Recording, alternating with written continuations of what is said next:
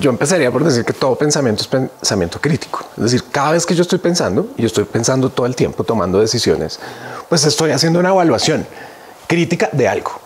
Em, en, digamos, yo creo que en la cultura popular, y lo vimos en los medios, y esta idea del pensamiento crítico, también porque a veces nos vemos a nosotros mismos y vemos a la sociedad tomando decisiones como que parecen muy impulsivas. Y entonces sale la noción de eh, no piénselo mejor, piénselo críticamente.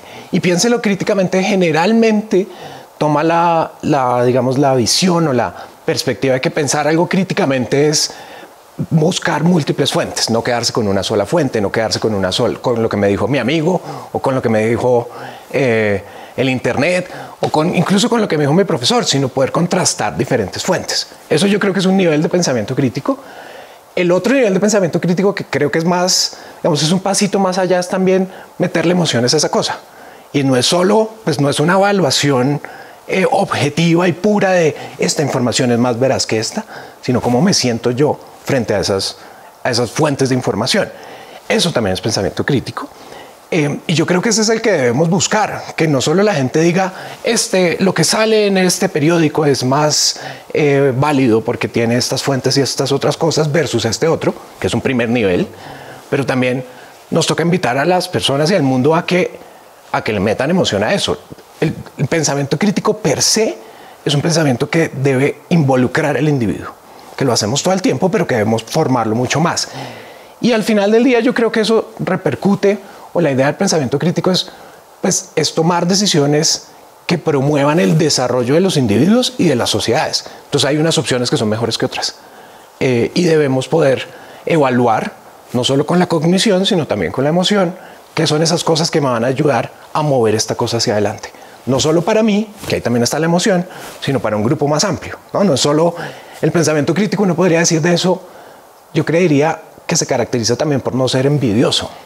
Si es crítico, es crítico para que para reconocer cómo como sociedad nos podemos mover hacia adelante. Eh, para mí eso sería el pensamiento crítico. Por supuesto, hay millones pues, de recuentos teóricos que, que lo caracterizan más por un lado, más para el otro, para la liberación, por ejemplo. Pero al final del día es para tomar decisiones y todo pensamiento es pensamiento crítico. Suben, suben las tasas de interés y bajan mis ingresos. Yo necesito pensamiento crítico para tomar esa decisión qué hacer en esa situación. Me voy por esta calle o me voy por esta otra calle. ¿Qué implica? Necesito pensamiento crítico para tomar esa decisión. Y, insisto, pensamiento pues siempre ha acompañado la emoción. Es que no lo podemos separar, no podemos separar lo que yo pienso de lo que yo siento.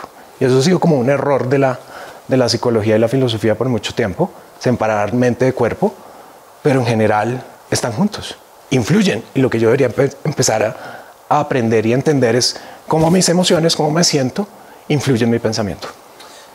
Yo creo que sí, yo creo que es un objetivo loable pues de la ilustración, de separar la mente del cuerpo, eh, pero realmente lo que nos indica mucha evidencia reciente es que es, pues digamos, es si yo separo las emociones de la toma de decisiones, no puedo tomar decisiones. Y hay un caso muy icónico pues en, en la neurología de una persona que sufrió un trauma cráneoencefálico y se afectó, digamos, la parte del cerebro más asociada con las emociones. Y, finalmente, pues la persona sobrevivió y todas estas cosas, se recuperó, pero finalmente lo que, lo que se evidenciaba en su conducta es que no podía tomar decisiones. Decían, Señor, ¿cuándo quiere la cita de seguimiento para su, para su condición? O pues para, para lo que estamos tratándolo. El, el lunes por la mañana puedo, el martes por la mañana y por la tarde también puedo. El miércoles me queda difícil, pero puedo por la noche el jueves puedo solo de 10 a 12 y el viernes puedo de 2 a 3. ¿Cuándo quiere la cita? El lunes por la mañana puedo y repetía. Y digamos, lo que aprendimos como sociedad de ese tipo de casos, que hay muchos ya documentados, es que las emociones son fundamentales para la toma de decisiones. O sea, hay un momento en donde yo tengo todo el panorama de información, pero la decisión la tomo por lo que quiero, no, no solo por lo que sé, sino por lo que quiero, cómo me siento más cómodo, quién me puede acompañar. Todo este tipo de cosas influyen en esa toma de decisiones.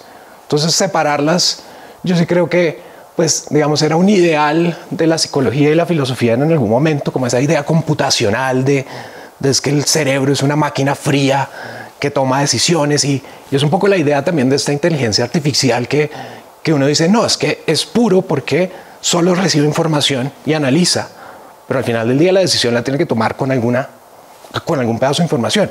En el caso de nosotros los humanos, generalmente es con información emocional.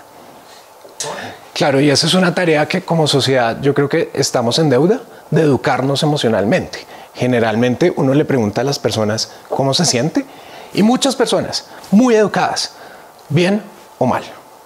Y lo que, lo que esas dos palabras o esos dos polos están escondiendo es una gama gigante de emociones.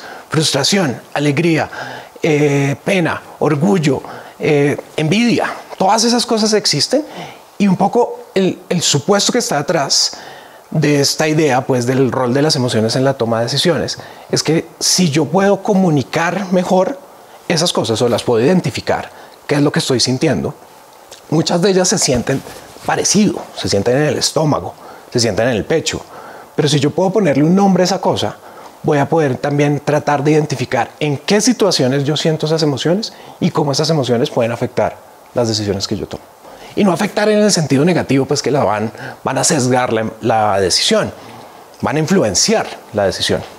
Entonces, digamos, en términos educativos, yo sí creo que una de las cosas que en la que la sociedad en general, esto no es un fenómeno solo colombiano, sino el mundo, estamos en deuda es en educarnos emocionalmente. Eh, eh, desde muy chiquitos empezar a identificar qué siento, cómo lo siento, cómo se llama esa cosa, qué nombre le ponemos. Le podemos poner cualquier nombre, hay unos que socialmente hemos construido, pero ver esa filigrana en las emociones es muy importante.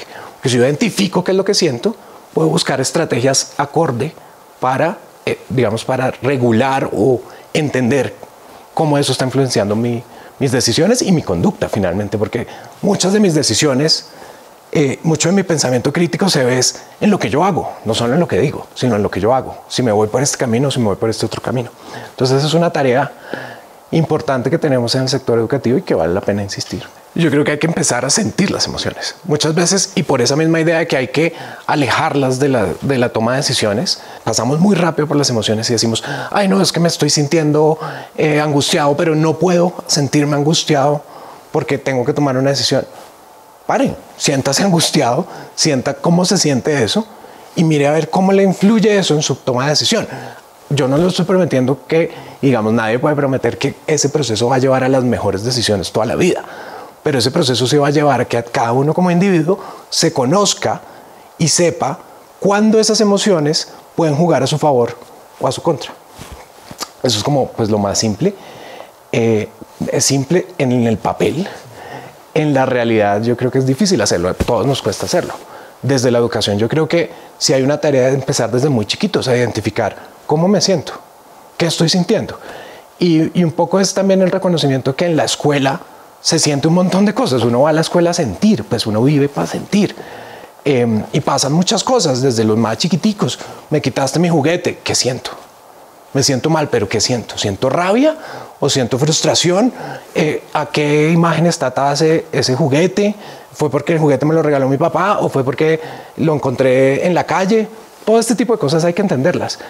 Em, y, yo creo que sí se logra entenderlas en la escuela al tiempo que uno también aprende lenguaje y matemáticas, porque esa es como la otra dimensión. Si yo entiendo mejor mis decisiones, mis emociones, me voy a sentir más a gusto en esta sala y de pronto eso potencializa mi aprendizaje. Soy Andrés Molano y esto es Educación para la Vida.